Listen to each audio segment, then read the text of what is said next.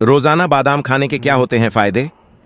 बादाम के न्यूट्रिशन, बादाम में fibre, vitamin E calcium, protein, omega तीन और कई अन्य पोषक तत्व अच्छी मात्रा में पाए जाते हैं।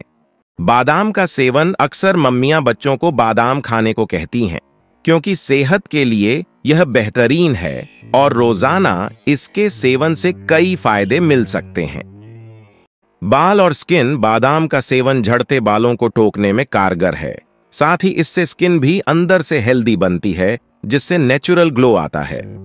मेमोरी होगी तेज रोज़ाना। बादाम का सेवन।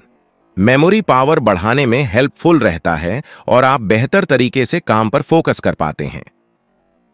एनर्जी को करे बूस्ट बादाम में मौजूद न्यूट्रिशन एनर्जी बूस्टर का काम करते हैं। इसलिए बादाम के सेवन आप खुद को चुस्त दुरुस्त महसूस करेंगे। किस तरह खाएँ? दरअसल बादाम की तासीर गर्म होती है।